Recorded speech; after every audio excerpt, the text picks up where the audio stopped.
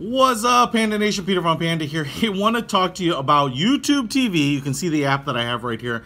I'm just filming my iPad mini. TV, the iPad, and my phone. The experience is pretty similar across them, but I will tell you what some of the things that I like and things that I dislike about this and why it kind of took the front place in the running for my cord cutting and then kind of quickly snapped to last place. Uh, first of all, as I want to show you here, that there is an app for the iPad. I've gone ahead and downloaded it installed it. I've used this quite a bit. I've used the web interface on the computer and I've used the Sling TV and DirecTV and then uh, on my iPhone as well. So first of all, this is what the app looks like. It's pretty clean. It looks a lot like YouTube, you know, the app that you might know. And one of the things that I really was intrigued by is actually a fairly robust channel offering for the $40 a month that it costs, including some of your local channels.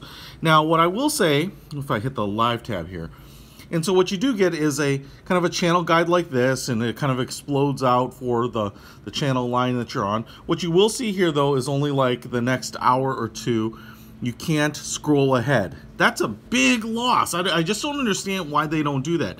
Now, you might say that's not, is it the way that is on the TV and on the other apps? Absolutely, and even on the website, which is totally weird to me that they only show you the next hour or two. Uh, you know, that every other channel guide allows you to kind of scroll into the future. Now, if I touch on like TBS like this, yeah, I can go ahead and go further, but I just don't understand why that's not a piece of the channel guide, right? Like, as you can see here, I can keep going out and out and out, and uh, that's all well and good, but on the channel guide especially, you know, not only, I guess you could say I'm, you know, you're on live TV, the issue is I only care about what is truly live, but there's just a lot of things that you discover by saying, oh, look, that's coming up in an hour or two hours or tomorrow or whatever it might be. So um, kind of a big miss there, but I kind of get maybe they're trying to force the future on you and say, hey, live TV is just that, live. You shouldn't really care about anything in the future. You can get it, etc., etc. Now, uh, the thing that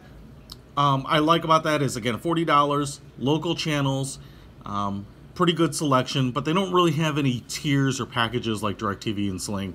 So kind of a pro con there is you get a lot, but the con is that you can't uh, upgrade to something that's maybe more robust or more appropriate for you.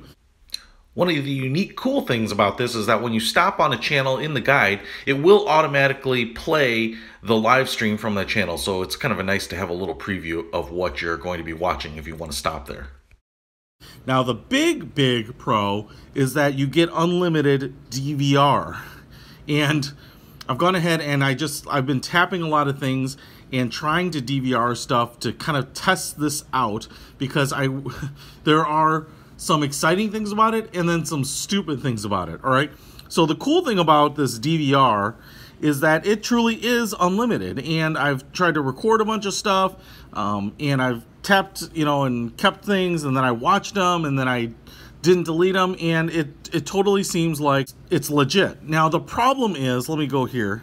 So I was uh, tapping away on, like, the, um, the Disney Channel here, because they have a lot of serialized TV. And what I've noticed is that if you do tap like the record button, so this will be a little record icon, and it's a stop button right now, basically, if I want to stop it. But like, let's take a look at this. Girl Meets World. What I'll do is I'll scroll down here, and you'll see that it's just like the whole, well, season, essentially, right? So if I'm on an episode and I tap record, it just records everything. And that's because I don't think it's really recording anything. It's just you know, all queued up in YouTube's digital system. And so what they do is when you say, hey, record, in this case, Girl Meets World, it's just going to say, um, any season you want to see is available because they probably have it. I, now, I actually have no idea why this only has season one or whatever, or two like this, and I have no idea how the show works, but, you know, for whatever reason, it never gives you kind of the typical ask of, do you want to record new episodes or all episodes, it just records and shows you everything. Now, it makes a little more sense on movies, right? If there's a movie or something like this and you start it, there's only going to be one instance of it, which is great. And then, like I said, you can just tap this button up here, remove Good Day to Die Hard if you want to not um, watch it. So, okay, right? Oh, and Step Brothers. I actually recorded that because I actually do want to watch that again. One of the greatest movies of all time. Probably second to Ventura. All right, so that's interesting, right? Because to me, it's not really DVR. It's more of just like subscribing to a YouTube channel. That's how kind of how I express it. Is that um, it's not really you're not really controlling episode time, uh, actual viewing experience like you are on a DVR, and like you think about it.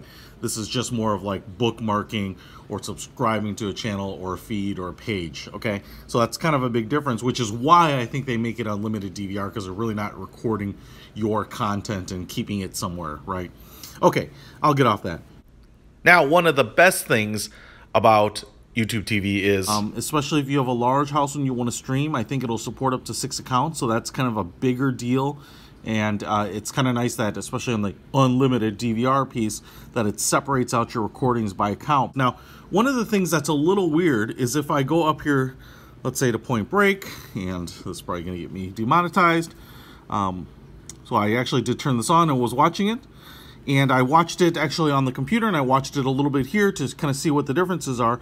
You can see it looks a lot like YouTube. I can kind of shrink it down. It goes to this little little bar there. But what you can't do here is if I tap on this, usually I can go on these ellipses and I will get things like playback speed. It does not appear here. Now that's a little weird because when I was on the computer, I could actually speed this up.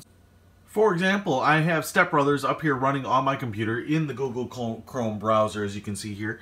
And if I go down here to the menu bar, I can actually go to that little gear icon like you can on any YouTube video and go to speed and hit double speed.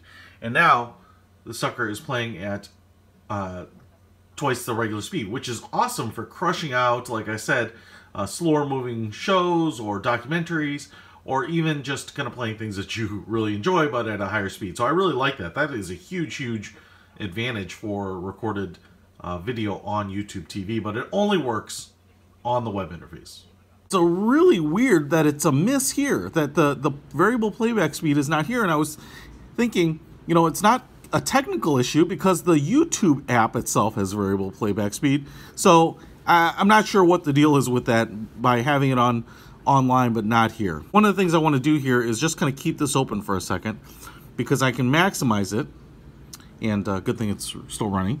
And then if I hit the home button, I want to show you what happens. Boom, nothing, right?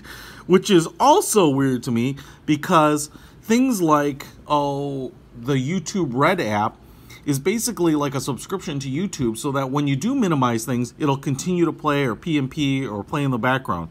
And so the funny thing to me is if you're subscribing to YouTube TV, you know, which is actually more than YouTube Red, you actually don't get the same functionality in this app. So it's kind of uh, frustrating that I wouldn't have the picture-in-picture, -picture, be able to watch things, you know, on my iPad here. And then if I extend that a little further, let me just try to open up my web browser here. All right, we'll open up the web browser. All right, so I've got this, right? I'm doing a little reading. I've got YouTube TV playing, and I want to dock this bad boy. Dock it, right? Dock it over here. Nothing. I can't actually do it.